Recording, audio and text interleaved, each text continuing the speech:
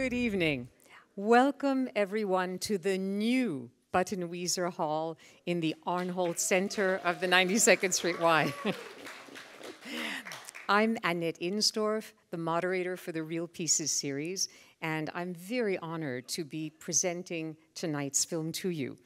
When I first started writing my book, Indelible Shadows Film and the Holocaust, and this was over 40 years ago, the majority of films about the Shoah focused either on Jewish victims or Nazi villains.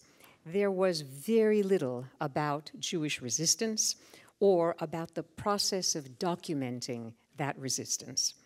Today, that is fortunately no longer the case. In addition to fiction films like Defiance, there is a growing number of documentaries that chronicle how photographs were taken during World War II, what they could show, as well as what they could not capture within a frame. These include Dariusz Jabloński's Photographer from Poland, and uh, Yael Hersonski's A Film Unfinished from Israel, and Bianca Stigter's Three Minutes A Lengthening and of course, Julia Mintz's Four Winters. I very much look, yep. I very much look forward to discussing this film with her after the screening and the 10 minute intermission. And to introduce her film, please join me in welcoming Julia Mintz.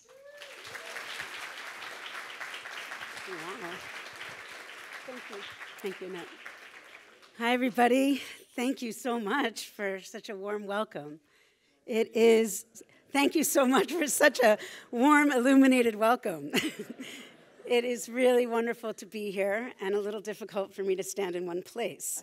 Um, with that said, I really don't want to take up too much time here, but I'd like to share one of my favorite stories with you. And it's a story about Faye Schulman, who is one of the partisans you're going to meet in the film tonight. Faye was one of photographers who did document what was happening in the forest and with the resistance during World War II. And when I went to interview Faye, as I did with so many of the partisans that I interviewed, I would bring cameras and gear and flatbed scanners, and we'd park ourselves in people's homes for days at a time. And after being with Faye and working with her for these beautiful sacred days. I'm getting ready to go, and we're in her kitchen, and she's making tea, and the sun's going down, and it's Shabbat. So she's kind of making me tea and trying to get me out of her house at the same time. And she takes my hands in hers, and she says, Now my story is yours. And it is with so much pleasure, and now Faye is no longer with us in this realm that I get to bring her story and the partisan stories to you. So, without any further ado, Four Winters.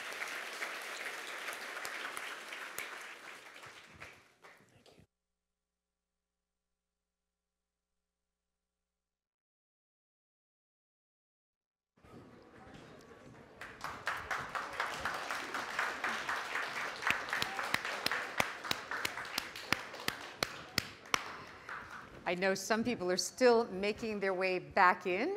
Uh, actually, we are going to lower, however, the lights yeah. because it is shining in our eyes and we cannot see anything. Um, so if you can hear me backstage, could you please take it to half? Yeah. I hope they hear me eventually. This is all new to us, by the way, the new Buttenwieser Hall. This is my first time on this particular stage, so we are going to try to uh, Okay, or actually, Susan, if you could notify the people backstage that the lights are way too high. okay, so I am so grateful that Julia Mintz, the creator of the film that you have just watched, is here to answer our questions.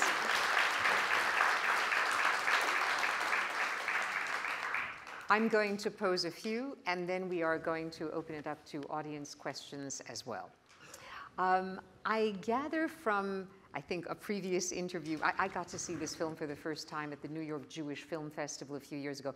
Uh, that would be a little too much. If you could bring the lights back, we want to be able to. We want to see you we guys. we just want to get these yeah. cans Just a down little bit more light on the audience, if possible. it'll, it'll work. Um, so I saw it at the New, okay, that, that's good, that's good. At the New York Jewish Film Festival, and I think you have said that this project originated with your seeing a photo of a female partisan. And I was hoping you could elaborate on that, you know, how this film took shape. And I have a feeling that it was specifically a female partisan that grabbed your attention. Um, if you could tell us about that. Sure. The, um, well, I stumbled really upon this story for the first time when I read about this young girl who dug herself into a ditch and had a grenade and was determined to blow up a Nazi train that was headed to the front lines and live to tell the story. And it was really in that moment that I realized, hey, there's a film here. And um, I, I, really felt like there was this Jewish Joan of Arc, and I wanted to make a biographical film about her. And then I learned that there were over 25,000 of these young, and some older, but mostly young people, and many of them were women that banded together in the forest, like you saw, and fought back against the Nazis and the collaborators. And it really wasn't too long before I buried myself in research. And, um, and then one after the other after the other, I just sought out partisans all over the world and interviewed them and began to learn about their history. And yes, the women's stories were very important to me because well, I'm a woman, right? So I'm pretty aware of how often our stories aren't always part of the collective history in the way that I've often sought to find. So I think I naturally gravitated toward these women that I think spoke to me because I, well, naturally, I always wondered who would I be if I was there then? How would I have? How would I have journeyed forward? And so I was very interested in learning more about that, and the men too.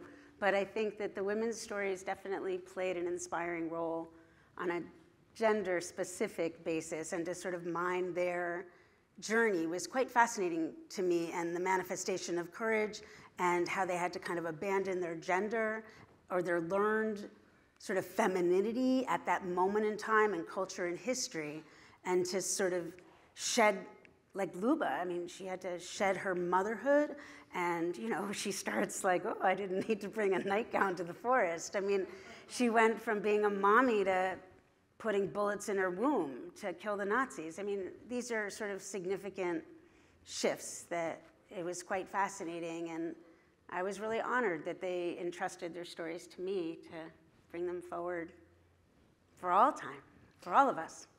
It was quite brave of them to go back and relive what they had gone through. It's quite a gift that they've given us. Yeah.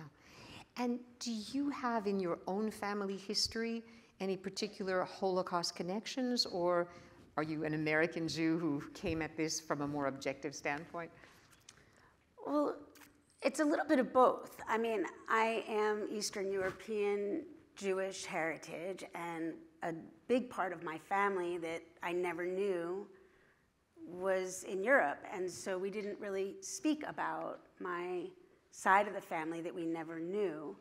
Um, and I had in my family, there were, you know, during Jewish holidays, there were people with tattoos, but, you know, I was sort of raised that we're not talking about that tonight. Um, and so I think it was more of a, I think what was most fascinating, really, was I didn't know how much I had inherited through the American lens until I began to explore the story through a different lens. So, my experience of learning about the Holocaust, I grew up in public school in America, and um, so I really learned about Anne Frank. You know, she was my, she was the one. I didn't have Gertie. In fact, when my daughter was at day school and she was like, We're doing a biography fair and I'm going to be Anne Frank. And I was like, No, you're not. You're going to be Frida Kahlo.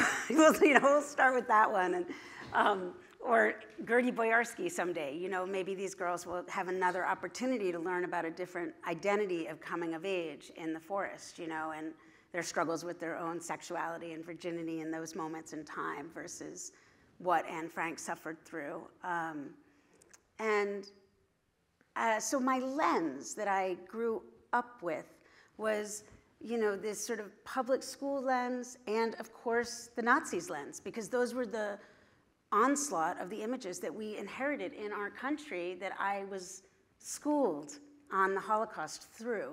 So as I delved more deeply into this journey and the archives, I sort of kept winding my way to find the images that not only were shot by those who survived this tale and for many who didn't, but the lens, I kept seeking the lens of the non Nazi lens. And often I would like scrub through footage, and it was like at the end when the Nazis were like putting down the camera or they started to get sloppy. I would find like these little snippets, like where the guy has his hands up in the opening and he turns his eyes to the left and to the right.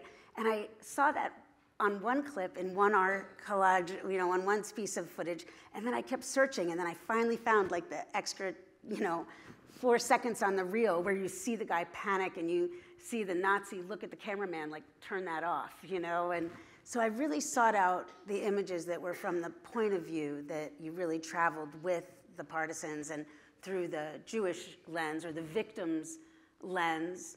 And so that, that became a big part of my understanding of how much I didn't know mm. was in the mining of these archives and then finding the images that really married to the stories that were being told to me for all of us. And were all of the interviews recorded before you did the archival research? Oh, yes. so, because I think all of us noticed that so often your archival footage corroborates something that was just said by one of the partisans. And there's a kind of rhythmic relationship between what we hear and see in close up of the survivor's face and what we then see, and we know that it's not exactly footage of that person, right. but it has this effect of uh, authenticating, in a way, the personal story. Mm. Mm. What was the greatest challenge for you? And here, uh, um, it can be in terms of speaking to the partisans, or in terms of research, or in terms of shaping the film. But I'm, I'm always wondering what the greatest challenge is for a filmmaker, and also what was the greatest surprise for you in doing the research? Well, there was a lot of challenges. um, you know, when I started out to make this film, the, one of the largest challenges was as I was making this film in a very unconventional way for a historical documentary film, because like yourself, there were so many scholars that informed this work. I mean, deep scholarships. I have quite a beautiful library. And, but from the beginning, I always knew that because this felt to me like it was the very last telling of this story from those who lived it, it was very important that I only had them speaking. And so this was quite risque when you saw it on paper, and there were not so many folks that felt really confident because often in historical documentary films, you know, you have the people who live the history, and then you have the scholars on camera sort of authenticating it and helping pontificate on what those other folks lived through. And sometimes that's really important and incredibly valid, but for this journey on this film, I really wanted only the partisans themselves to speak, and I wanted to intercut their stories. So finding enough people, finding the overlap, really crafting and writing this script painstakingly um, was both. The funding at the beginning was really hard because people didn't know, you know, what I was up to, and um, and then the other piece was in the in the sort of um, how how to tell it beyond that element, which was, you know, the film follows a linear timeline, but it really actually is a thematic timeline. It really follows um, sort of an emotional, ethical, um, moral journey, and that's the linear line within the film. Is like sort of this: you start innocent, and then sort of this sort of shock and awe, and then the manifestation of bravery and what they go through much more on the spiritual and personal level. I mean, these were young, innocent people. And um, actually, I want to take a minute and do a call out to, I say this young, innocent people because I have a couple of producers here tonight in the audience. And uh, Peter Stein's here. Peter, will you just put your hand up there? And um, he's one of our producers. And Ellen, you're here tonight, is also one of our producers who I'm so glad is in the house. Ellen Steiner and Zen is here too, Zen Chia. And I don't know if there's other producers out here in the audience or team members, but the team was essential in making this film. And I couldn't have done it without you and your belief in me and helping carry it forward. And I really, I worked with my producers from the beginning to watch the film and feel its craft and to make sure that we were really carrying this story forward in, it was, it's pretty non-traditional. I mean, you really go through this journey as a historical documentary in an emotional narrative of the characters. So you're really traveling with them through time, but really through their hearts and experientially of what they had to go through. So that was a big challenge, you know, to kind of make it land. So, and I heard y'all laughing, so that was good. And you know, how do you how do you bring people to laugh and cry and breathe? So, how many hours of footage did you amass before the actual editing process began? I don't know. It's pretty. It's an incriminating question. Like hundreds. I mean, really, I interviewed. Um, when I went to people's homes, I stayed with them for sometimes like a four or five days, and I would interview people, and we'd go through their stories because, you know, especially when you're with folks, in my experience, that are so much older, and they tell you their stories. A lot of the time, well, I'll just be candid. You know, you you know, you say to somebody, where's the best place to get chocolate milk? And they'll say, well, you gotta go three doors down you'll pass Saul's house. And then after you pass Saul's house, you might see my friend Sarah. And if you see Sarah along the way, can you say hi to her and go, go three blocks down? And I like the one with the blue label, but if you get the red label, that's okay. And you're like, okay, so the store at the end of the block? you're like, okay. So a lot of the time, the best stories come through these circuitous sort of narratives. I mean, you just don't know where things are going to land. And when people are recalling things from 75, 80 years ago, it's really important to give that time, give that pace. I mean, and sometimes they need to tell a story a few times because we were building trust between each other. And then each time you kind of take a deeper dive with someone, they might share quite a bit more. Um, or they did, you know. There was, there was quite a bit of a reveal. I mean, people told me things that they had never shared before. And, um, and I think that's because, you know, we kind of sat through it together. We took that journey. One of the things I found really powerful is how you juxtaposed the individual different people telling the story that corroborated one another. For example, um, I think it's Michael, uh, both Isidore mm-hmm. uh, Farbstein and Michael Stoll recall the train to, to Treblinka. And you cross-cut between them, and then you include some archival footage of a train in motion, which adds urgency or propulsion to the stories that they're telling. I also so appreciated Luba and Frank talking about shooting the rifle for the first time. You could almost believe that they were doing it together in history because they, they're brought together by the editing or creating a dugout. At what point did you, I mean, you say you scripted it. So it's when you knew that you had two people talking about the same thing in similar ways that you then, with your editor, uh, is it Peter Heddy? Um, that, that, that that's how you then structured the, the script and the, the rest of the film? Kind of, yes. And I think what happened was, you know, when I interview people, I have a tendency to ask a lot of micro questions. And, um, and then as we go through it and I ask the questions, a lot of the time, I sort of, I, if you saw my books, each book is a transcript, and then I identify in the margins the different themes. So it would be the manifestation of bravery and learning to use your weapons or the acquisition of arms. And so then I would catalog all the different people that I spoke with. In fact, I'm working on my, one of my next big projects is we're doing a book because I interviewed 30 people for this film. So you so the stories that you see were actually very much stories that were mined, that were the common story. So even though you might be seeing a singular story about you know, Gertie's virginity, it wasn't just Gertie who had that story. She was telling the collective story of that experience or learning to use a gun or what it was like to be inside the train and Michael's experience of that. And so I very carefully put stories that were in the film that spoke to the larger story, the larger collective experience of the partisans themselves. And so it was incredibly painful taking people out of the film.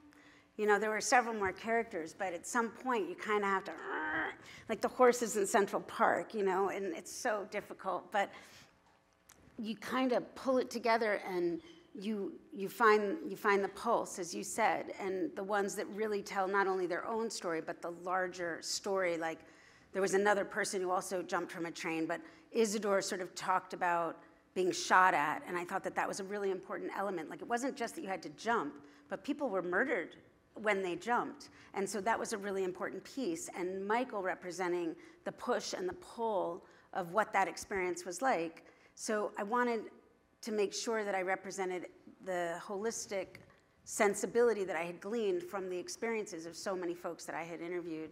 And that was really important to me. So it was a lot of the repeating stories then dictated the stories and the themes that found themselves landing in the film. And it was difficult because there were some incredibly beautiful stories that didn't get to be in the film because they were, from my research, much more singular eh, within their telling. And so that was hard, you know. Like, for example, Gertie, she survived typhus. And um, they had, uh, they had, like, the zemlyankas for quarantines, actually. And they would quarantine those that had typhus in bunkers. And when she says, um, why me? Why did I survive? And that was part of her story was she was the last one in I'm sorry, she was the first one in and the last one to come out of the bunker alive from mm. typhus. So, you know, this is an incredible story and it's hers, but it just felt like it was too personal and kind of took us down a different rabbit hole than um, the story of her survival as a whole and the questions she asked about it. So it was really about kind of culling the stories to the one that sort of tells the larger story. That is a hell of a challenge.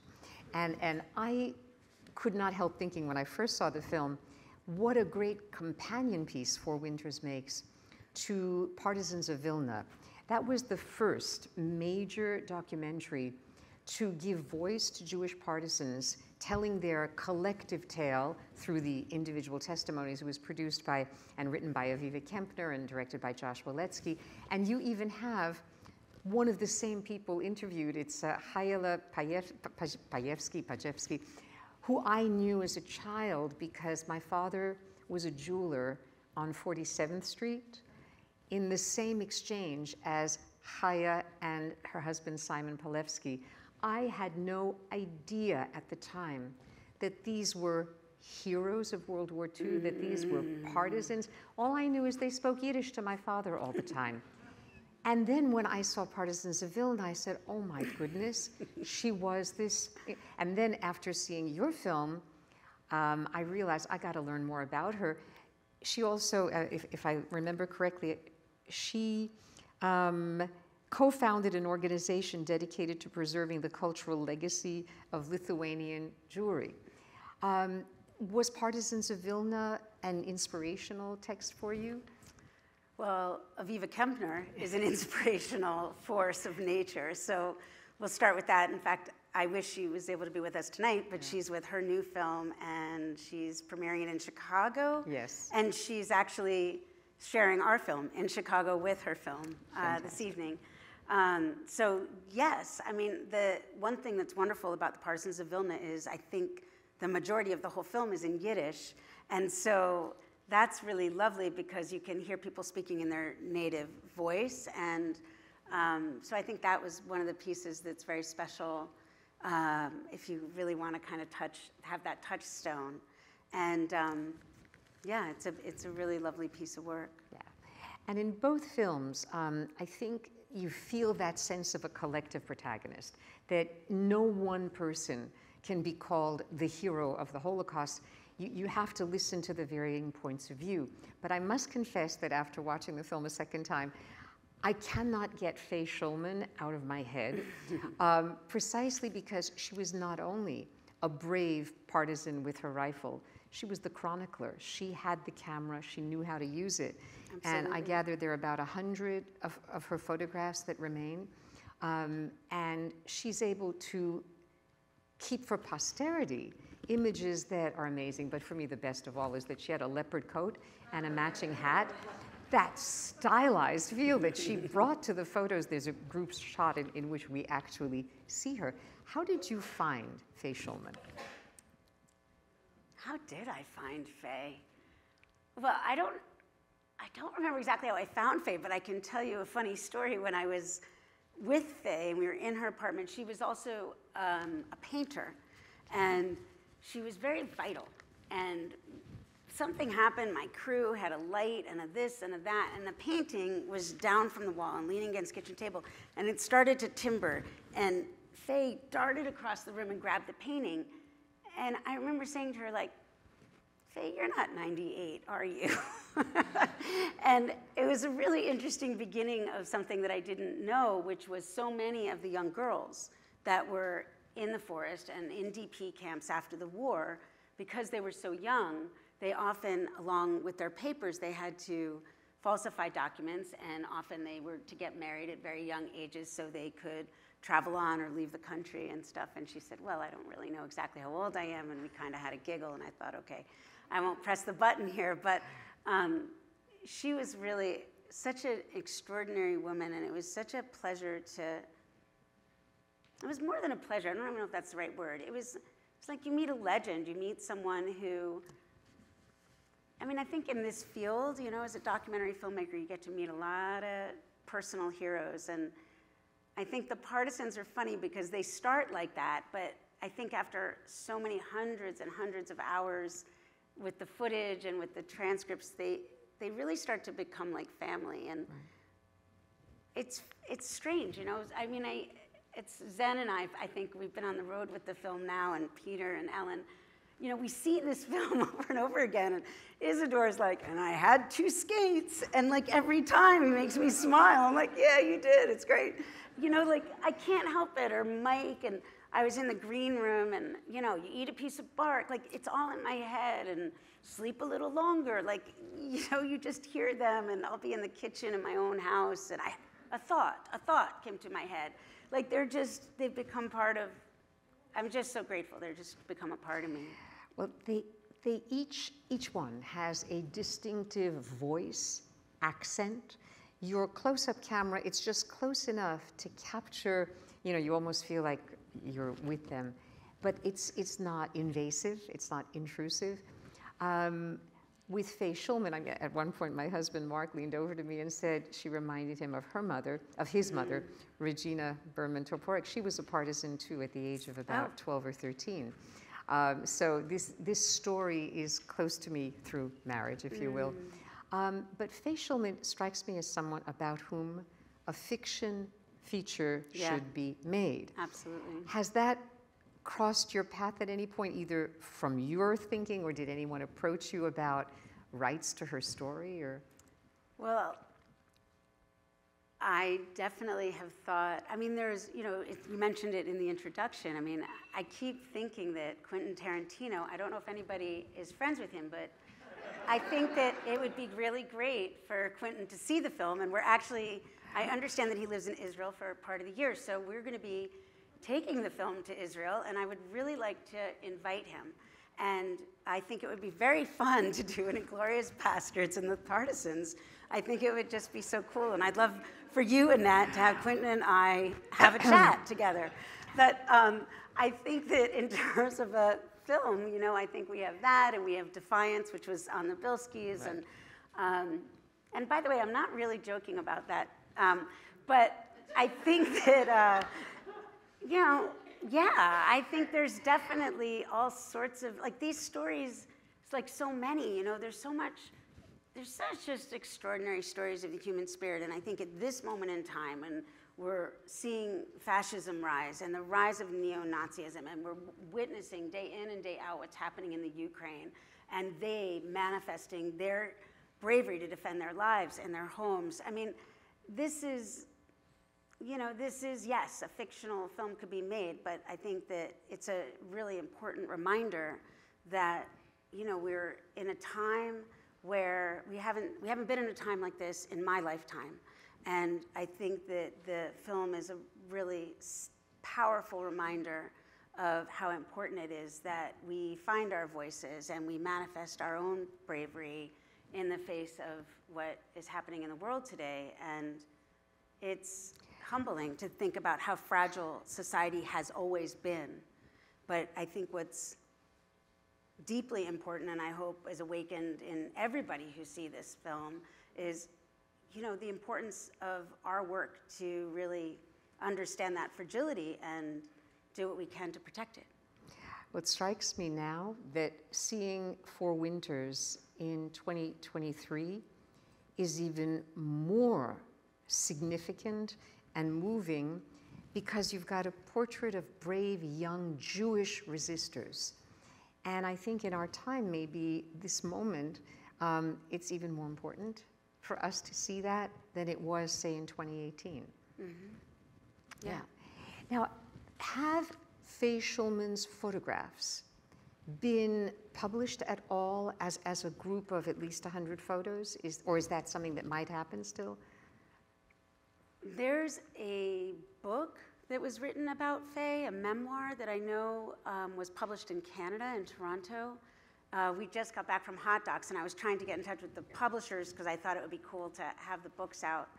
And I think that there has not been, as far as I know, a book of Faye's photographs, although I do know that there was a tour that was going at different museums at one point of some of her photographs, and I was hoping that at some point we could bring her photos and the film together in some location as we travel around the world. But no, I don't think there's been the kind of coffee table book that I think you're referring to.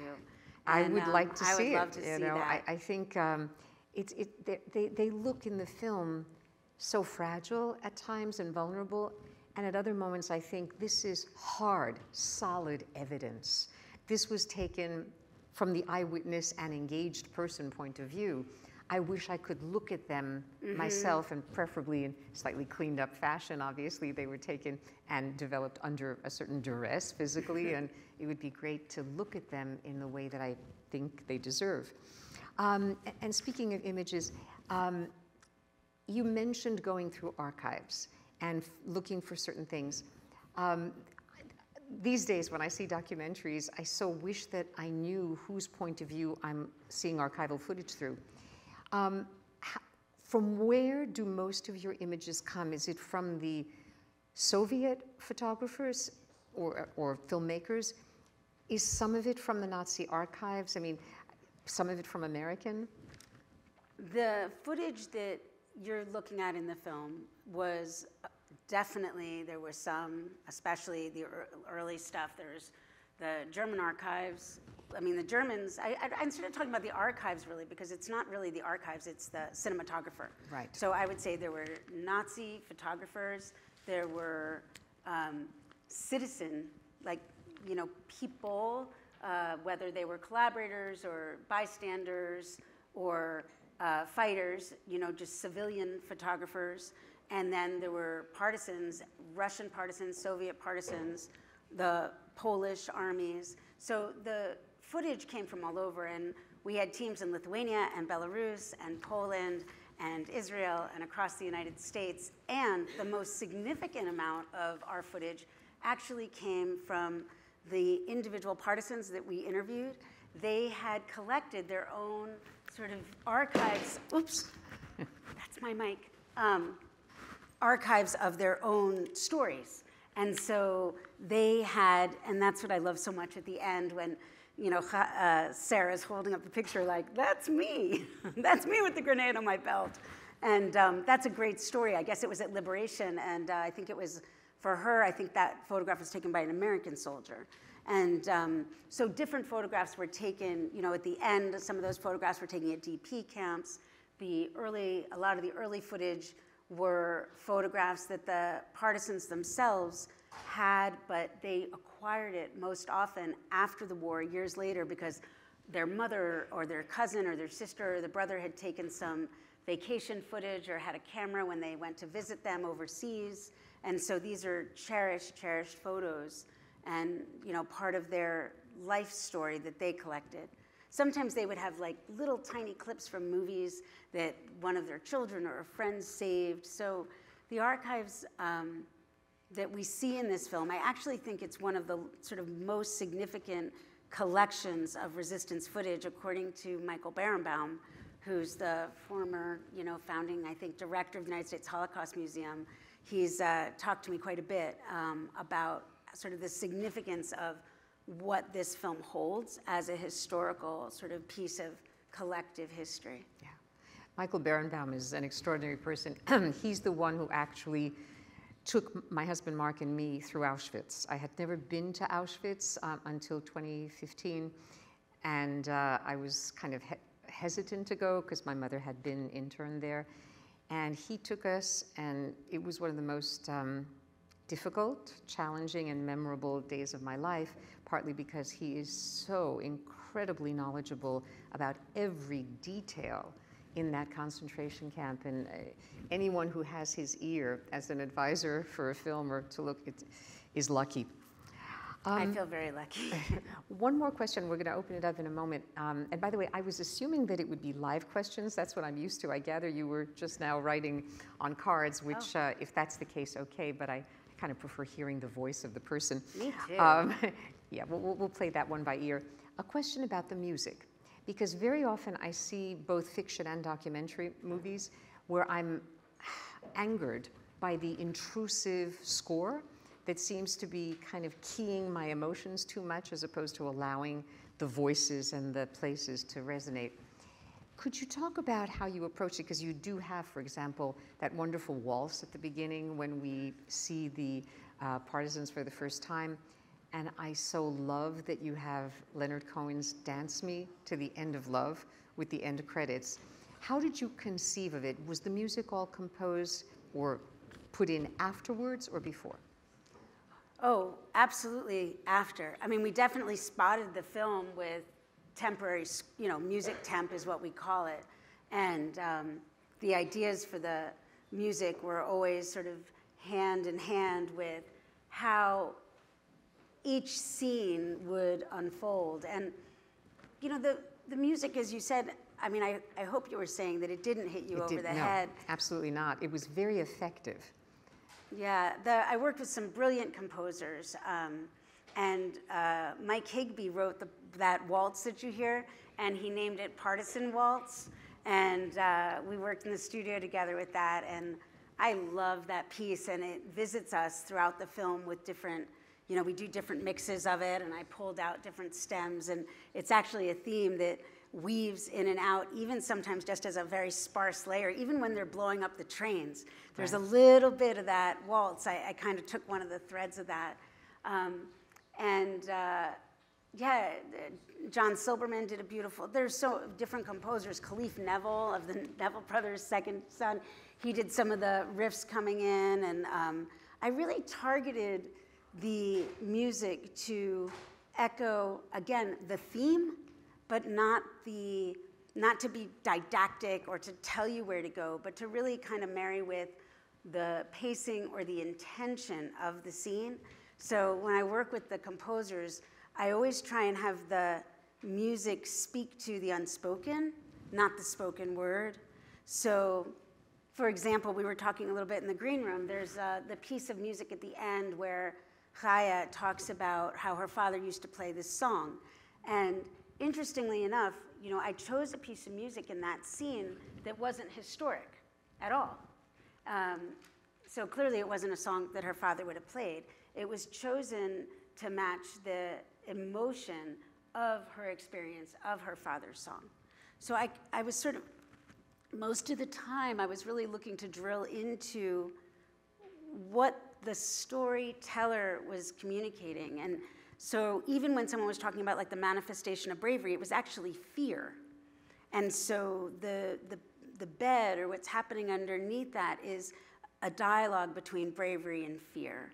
And so I would really kind of work with the composers in that way. And, um, and it was a joy. I mean, it's really something to be able to have all these, you know, that's, that's filmmaking, right? I mean, that's the coolest thing. I started in my life as a um, visual artist, and I'm a stone carver and a potter uh, by trade. And, um, and I remember the first time I got into the like studio, and all of a sudden it was like all these brilliant artists, and I got to work with them and collaborate, and I was like, oh man, this is the coolest thing ever. And uh, it was so fun to just not be in my own head. And I got to be in my own head with, their, with everybody else in their own head and then coming together. And so working with composers and musicians to bring forward those themes. I mean, it's extraordinary. It's uh, Barbara Cohen composed those opening music pieces with the cello and went back and forth and yeah, it's lovely. stuff. I mean, I, I hope you all realize that when a documentary filmmaker decides to tackle a subject as rich as this one, it ain't just research and interviews and editing. You know, there are layers that have to be interwoven because a fiction film and a documentary both have to have the narrative spine and the proper accompaniment. I'm going to ask for the cards to at least be brought out here, but I think I would rather call on people in a moment, especially because I didn't even bring my glasses to the stage since I didn't know that they were going to be written cards. If uh, whoever can hear me can bring out some cards, I'll see if I can even decipher them. And in the meantime, actually, we have a question. Somebody raised a hand pretty high right here. I can repeat every question. Thank you very much. Go right ahead. How long did it take you to do the film? Well, I mentioned earlier, it really was a passion project from its first the first moment, the first day. Would you like to borrow mine? Uh, no, it's, it's uh, I, I think I'll figure it out, but hopefully whoever wrote the two cards is still here and we can call on the people directly, but go ahead. Oh, um, well, with COVID, we went on hold um, because it was so important to us to be able to bring the film into audiences and to have people come together for the film, so we went on hold. But the film it really was about a decade long. I mean, it was on and off. I was making many other films along the way to cover the mortgage and, you know, take care of my kids. But uh, yeah, it was, a, it was a long journey. But it was upside down. I mean, the first chunk was doing reading everybody's books and interviewing people. And then we kind of put a pin in it. And, um, and then I started writing and crafting and building it out. So you know, I would say on and off for about a decade. There was some some holes, but the um, but the it was actually interestingly enough, even though it took a decade, I think it was the fastest project I'd ever done because the the focus was in place. We knew what we wanted, and you know, usually when we work on films, right, there's co-producers and there's a lot of different people in the kitchen and they got to watch it and everybody's got to but you know I did write, produce, and direct it. So um, I really relied on my team and other folks to get involved. But the vision was, the partisan spoke so clearly to me. It was not really a big leap. So if you actually added up the hours, it was really quite swift. And there was so much talent in the room with me. I mean, I say, you know, the music and the composers and my editors and it was a beautiful collaboration, and I think everybody really knew what it was about and had a passion for the story. And um, so it went actually quite swiftly over a decade. it was more than four winters, what can I say? Yeah. right here?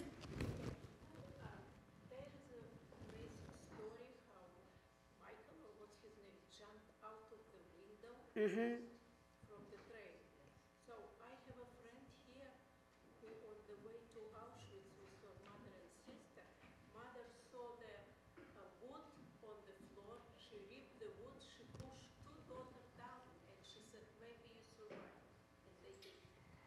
We were just told an amazing story by this woman who knows who knows someone who, similar to the story Michael tells of escaping from the train, on, in the train on the way to Auschwitz, a mother managed to pull a piece of wood out from the floor and got her two daughters to escape through that hole. Did the mother go with them or no?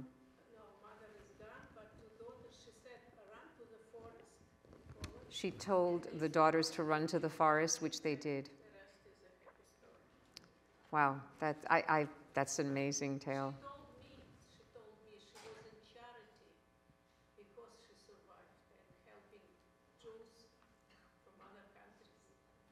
And the survivor got involved in charity, helping Jews from other countries. Yes.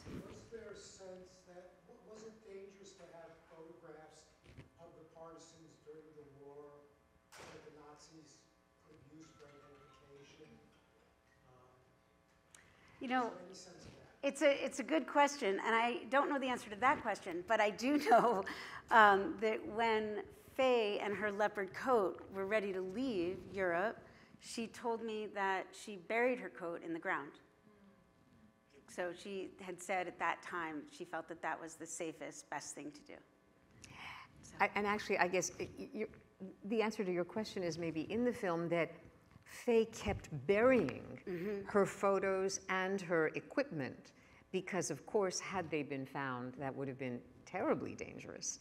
It would have revealed the, the whereabouts. So, my, my guess is that um, unlike a weapon, a rifle, which you would keep on you at all times, the photographs were indeed hidden. And, and she said at one point in the film that even if she didn't survive, the photos would survive as testament. Yeah. I don't think any of the partisans actually thought that they would survive. In fact, it's interesting. Um, you may have noticed when Gertie says, and, and the bullets came around and he killed me. And I thought, the first time I interviewed, as I mentioned, lots of people, and the first time, Gertie was the first person who I heard say that. And then it was fascinating because lots of partisans that I interviewed said those words. They would say, and they killed me. And it, early on, I thought it was sort of an English translation thing, but what I learned over time was it was really the moment that they felt, I think, that they severed themselves from who they were before. And so the person who they were was killed that day. And then I think they moved on from there. It's interesting. Wow. Um, I think I see a hand on the far right there and then on the aisle here. Woman or man? Oh, I'm sorry, there were two of you. All right, I, I- you started talking the man first and then we'll go straight to the woman. So congratulations, thank you very much. I spoke to you very quickly outside, I just want to elaborate a little bit. So we flew from Atlanta to be here because you haven't gone to Atlanta yet, and we'd love you to do that. I'm a physician, Thank you. you're welcome. I'm a physician, and not to go into a lot of detail, I think my, my, my father survived Mauthausen. Only survived. wow. I start talking to my patients because that's what I do. The only survivor of this family. I start talking to my patients because that's what I do, which is a rarity nowadays, sadly. I figure out that one of my patients, her father, was in Patton's Third Army, and he liberated the concentration camp my father was in. We're stunned. We're crying when we realize this. Ten years ago, just last year, we wrote a beautiful presentation we gave at a medical meeting at the National Infantry Museum in Columbus, Georgia, near where we live. And everybody in the audience were not Jewish, except for me, my wife, and my family. They were all stunned. And we had it videotaped because we knew it was that powerful. And we've given it many times since. I want to do a book and or a documentary. How, I don't even know where to start. I'm a physician. I don't even know where to start. Can you guide me? Can you this is such a great story of the shared, right? It's, I mean, Yeah. it's the craziest. Well, the short answer is that's Zen, and she has our contact information, and we'd love to learn more about your dad's story and talk to you. And we also came over to see Parade. If anybody hasn't seen Parade, go see it. Okay. All right. Thank All right. you. Uh, the woman right in front and then the gentleman on the aisle. Um, Did any of the partisans interviewed know each other? the partisans in the film, um, not, not the ones that were in the film, over the many people that I interviewed, some of them did know each other. Shalom Yoran um, was friends with Chaya, Chayeli, and um, Michael. You know, yes, over the people that I interviewed, but not the ones in the film. Okay, uh, on the aisle here.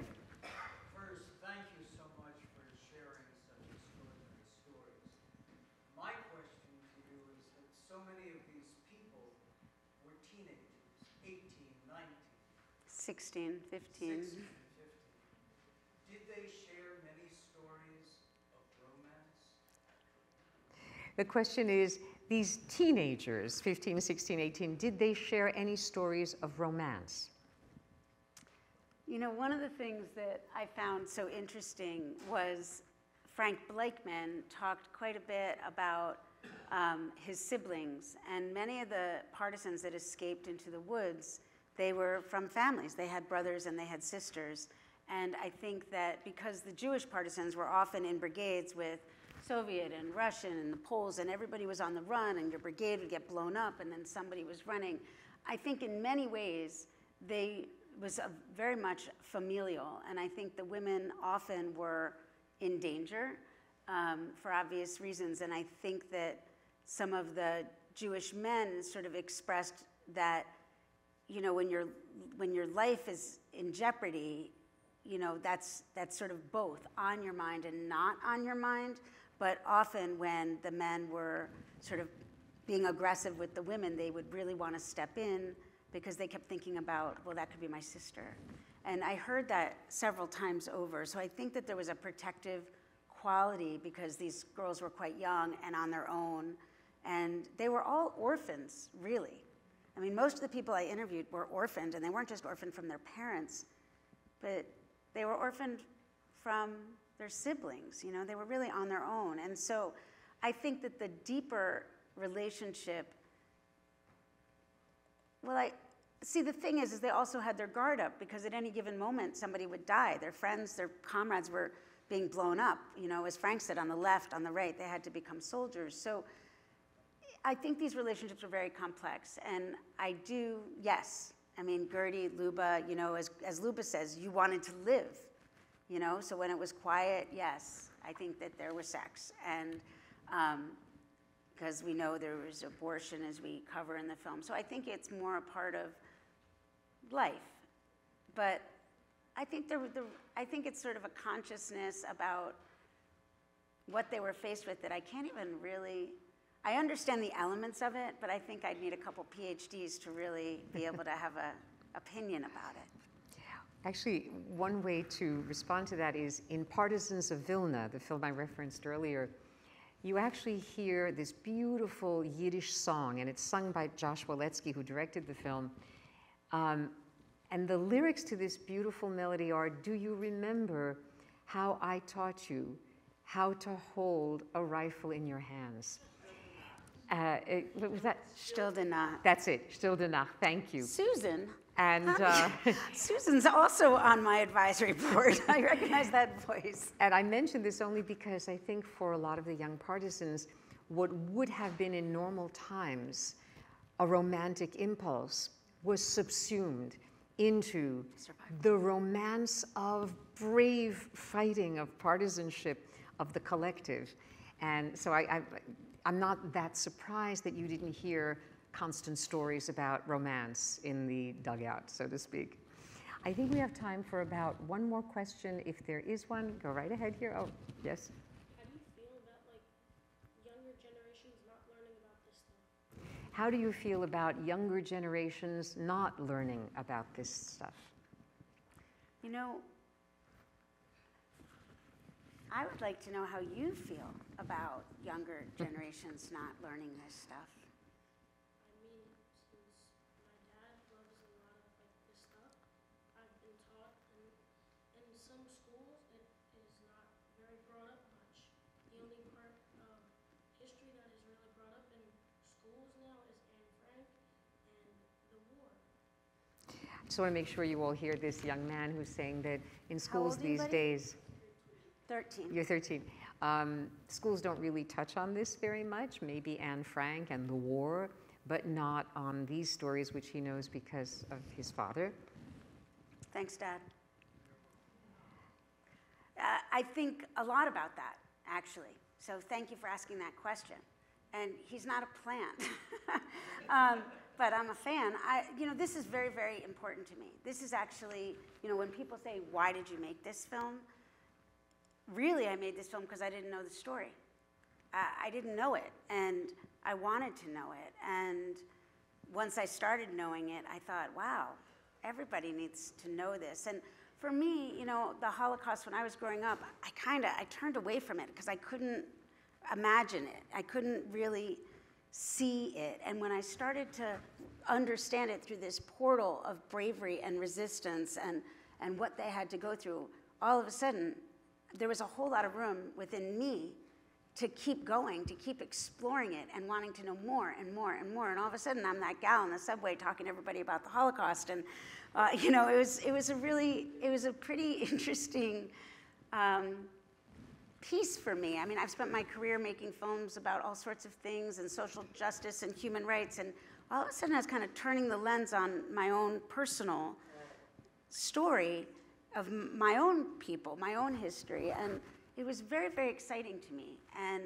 it still is. And I feel strongly and I'm looking forward to bringing the film out educationally in all communities across this country and around the world. And we definitely have plans for that. And if folks are interested in helping us out with that and supporting that effort and helping us bring the film out into the world, you know, Zen's passing out flyers on your way out. And if you have recommendations of places and people and universities along the way, we want, we want more than six million people to see this movie. And I would love more than three million of them to be young people. That seems like a perfect way to thank everyone for being with us tonight and to thank Julia Mintz for bringing us her remarkable film. Thank you all. Thank you, my dear.